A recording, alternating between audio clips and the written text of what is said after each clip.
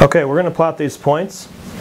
So when you have a coordinate like this, the first number is the x-coordinate, the second number is the y-coordinate.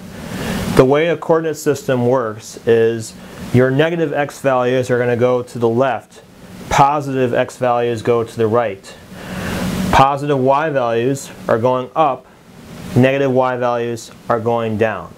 So if I want to plot negative 1, 4, what I do is I start with the center 0, 0, and I'm going to go one place to the left because the x-coordinate is negative, and I'm going to go up 4 units because the y-coordinate is positive. So I go 1 to the left and I go up 4 units. So right here is where negative 1, 4 is.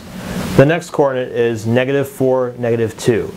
So if I want to go negative 4, I have to go to the left because the x value is negative, but then I'm also going to go down because the y value is also negative. So I go 1, 2, 3, 4 places to the left, and then I go down 2 units. So right here is negative 4, negative 2. Next, I have 3, negative 2. Now since the x value here is positive, that means I need to go to the right 3 places. So I go 1, 2, 3 places to the right, and I'm going to go down 2 units. So right here is where 3 negative 2 belongs. The next one is 0 negative 3. Now because of the 0, I'm not going to move to the left or to the right. I got to stay directly on the y-axis. So if I'm on the y-axis, I just need to go down 3 units. So 1, 2, 3 would be right here. This would be 0, negative 3. Finally, we have 4, 5.